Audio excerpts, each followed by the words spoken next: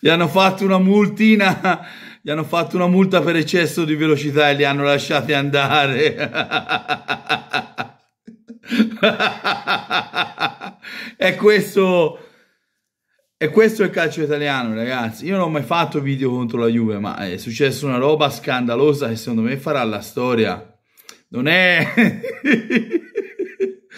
no, non è la pirateria che uccide il calcio, sono, sono queste cose. Quello è successo oggi che uccide il calcio italiano. Una multa da 700 da 718 mila euro, ma sono gravi secondo me anche le parole del presidente del Verona, se ho ben capito, che insomma fa capire ragazzi, la mano lava l'altra e tutti e due lavano il viso, come si dice in Toscana. Se ho capito bene, ho letto le dichiarazioni, io poi magari voleva intendere un'altra cosa, ma eh, il calcio italiano è questo, ragazzi, è un calcio ad oggi morto, un calcio che ha perso molto appeal, non è il campionato di vent'anni fa. E quindi hanno dovuto tenere in piedi la Juventus da, dall'esame di Suarez eh, a tutto quello che, che, comunque hanno combinato perché hanno patteggiato, patteggiato quindi patteggiando spesso è, ci, quando uno patteggia perché dice sì ok ho sbagliato veniamoci incontro quindi ehm, le parole di Gravina secondo me sono, sono scandalose oltre che gravi e e io penso che oggi si sia creato un precedente molto pericoloso nel calcio italiano. Eh, io penso che oggi con questa decisione assurda penso si sia creato un precedente molto pericoloso, ovvero sia tu possa fare che tu puoi fare quello che vuoi nel calcio. Allora eh, l'Inter è indebitata fino agli occhi, ma, si, eh, ma, ma lo sanno tutti, è vero c'è, c'è, addirittura la Repubblica scrive di fallimento Inter, tutto quello che volete, ma a questo punto allora eh, anche noi potevamo fare come ha fatto qualche un altro che ha preso una piccola multa e tenere ancora Kimi e Lukaku.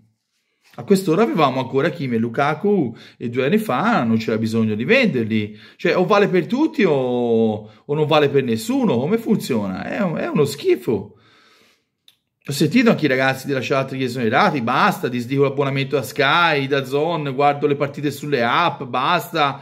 Non è la pirateria che uccide il calcio, cioè, ovviamente lo sto dicendo in maniera ironica, anche la pirateria ha la sua grande percentuale, ma ragazzi, ma vi rendete conto di cosa è successo oggi? La dovevano mantenere in piedi la Juve, ma io tanto lo dico, non la manderanno mai in Serie B, la devono mantenere in piedi perché già il campionato italiano è quello che è. Se toglie anche la Juve, mh, mm, cioè, c'era rimasto in Milan. Che ci si fa con il Milan? Non si sa più co- come farli nemmeno pareggiare noi quelli del Milan. Che ci facevano in Milan? Con la Juve almeno c'era un po' più, c'era un po' più d'attesa.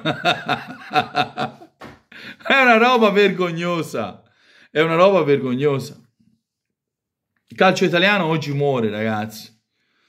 Oggi è morto il calcio italiano. Speriamo che possa tornare, non ti dico ai livelli di vent'anni fa, ma speriamo che possa tornare in generale lo dico, ma anche per l'Inter. No, guarda, io te lo dico, non è giusto che anche l'Inter vada avanti con tutti questi debiti. Eh. Cioè, io sono il primo, io l'ho sempre detto anche sul mio canale, nelle live, l'ho sempre detto, non è giusto, non è nemmeno giusto che l'Inter vada avanti con tutti questi debiti, ma non è giusto nemmeno vedere e sentire quello. Oggi è successa altro che i debiti dell'Inter, oggi è successa una roba scandalosa. Oggi il calcio italiano muore. Spero, spero che possa rinascere, ma ragazzi, così non si va più. Non si va da nessuna parte. Oggi, te lo ripeto, oggi si è creato un precedente molto molto pericoloso e ognuno può fare quello che vuole. Cosa dobbiamo fare? Siamo tifosi, vogliamo tutti bene alle nostre squadre, sicuramente le guarderemo uguale le partite, però ragazzi, io sinceramente sono un po' schifato. Ciao Inter.